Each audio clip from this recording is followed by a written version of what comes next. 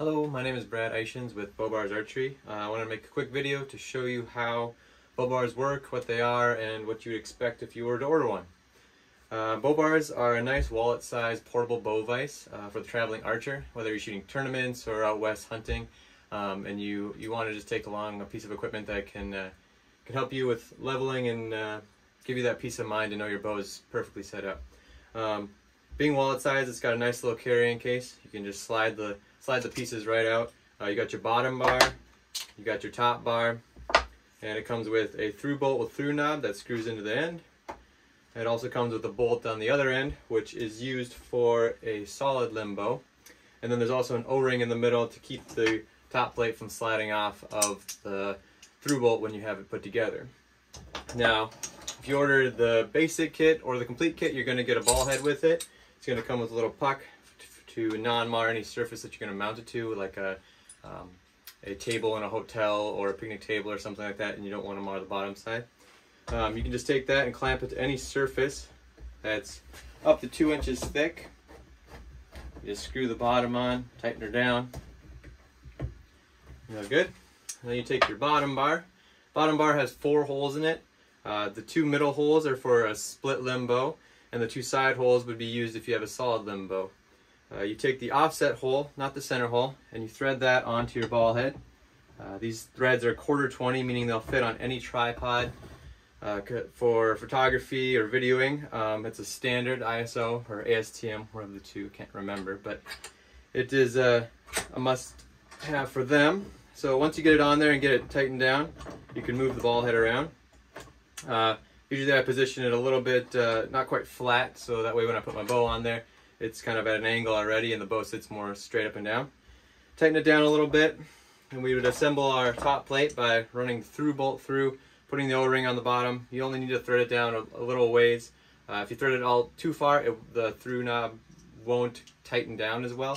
So just put it on there maybe a quarter inch or so. Then we take our bow, and to position our bow, we just take it and set it on the, the bow bars, um, making sure that the center hole is in the middle of the split limbs. And take your top plate and take the through bolt and run it into the hole. Tighten her down all the way. Uh, it'll bottom out on the, the bottom uh, plate where the, it attaches to your ball head. So once that's bottomed up, you take your through knob, and tighten that guy up, make sure it's nice and snug, and then your bow is sitting on there. Um, in order to move it, you can loosen up the ball head, move it around whichever way you need, left, right, up or down. Um, we found that if you take and put a little tension on it, you can set it. So now, now it's got tension on it, so it's just sitting there, but you can still move it by just giving it a little pressure to get that fine adjustment there. Uh, ball head's a little bit more intuitive than some of the locking pin systems out on the market. That's why we went with this. Um, we also have 3D printed levels that are just cheap levels um, to get you started with tuning. These each cost about, uh, I think it's $8 for the, the uh, string level, $8 for the sight level, and $6.99 or $7 for the arrow level. Um, nice light, light, lightweight ones. If you want to upgrade to CNC machined ones, those are available on the market from Hamskea or other uh, manufacturers that do a great job with that. Um, in order to attach the string level to the to the string, you just put it on here, give it a, a few wraps with the serving that's provided, um, and then you serve in the top by just giving one knot around the string, and it sits on there nicely. I'll kind of give a close-up of the levels here once I get them tied. There we go. Uh, the sight level, uh, I shoot a black gold sight, which has a nice mounting spot for this uh, for this sight level. It's got a nice flat spot. Uh, if you have a different sight or different uh, configuration and you need a different sight level or any level of period, just let us know. We can manufacture one. Since they're 3D printed, it takes about a day to print uh, 10 of them. So um, design process doesn't take very long as well. So if you need something else, just let us know. We can uh, put it together for you. So that would be the the split limb version. I'll put together the solid limb version really quick, just so that way you can see that as well. I'll give a close-up of kind of uh, the end result when I get there. So we'll fast forward to that so you don't have to watch me take this all apart and put the other one up here.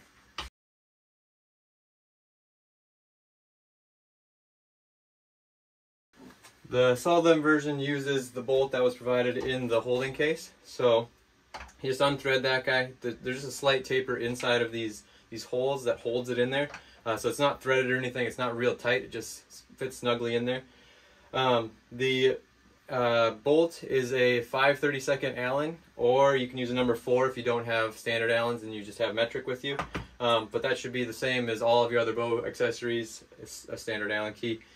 Uh, to put the to put the bow bars on there, you'll take and remove the bolt from the center hole, and we're gonna just remove the whole thing.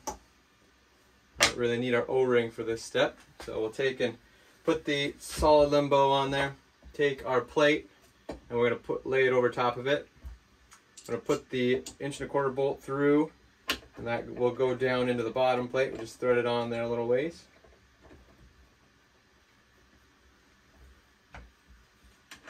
You don't need to go all the way down, just tight for now until we get the other side on there. So now that that's on there, you'll want to take your through knob and through bolt and run that in the other side and get it lined up with the hole on the other side.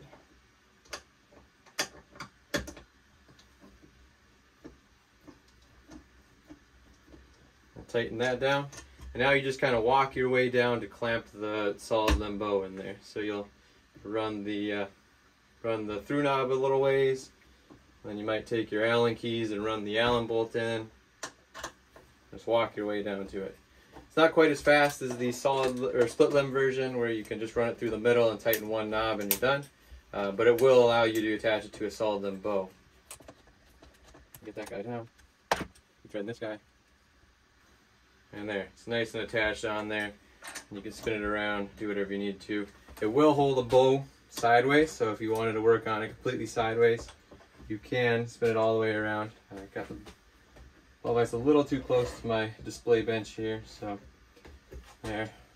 Now we can work on it completely sideways. It's a very light bow. It's a Mathews DXT, probably weighs about four and a half, five pounds maybe. Um, the my eight pound bow, or my Mathews V3 is eight pounds. Um, I have had that completely sideways. It is a little bit bouncy out on the end. Um, but you're you're working with a pretty long axle axle with 31. I mean, some of the target bows though with 40, uh, you might be pushing it. Uh, but I have had it with the quiver and all my stabilizers on there before, and it does all right. Um, but if you're going to be working on mostly vertical, we would uh, you'd be just fine. You don't have to worry about it since all the load will be transferred into the head straight down. So that is how you mount, uh, how you use your ball head and your bow vise, and yeah, hope you uh, Hope you order one up. If you have any questions, let us know. Uh, you can contact us on social media or call us, text us with the number provided on the website. Uh, we also have a messaging app on the website. Uh, it's just me getting back to you, so it might take a few days or a few hours depending on uh, how busy it gets. But, uh, but yeah, if you have any questions, let me know. I appreciate it.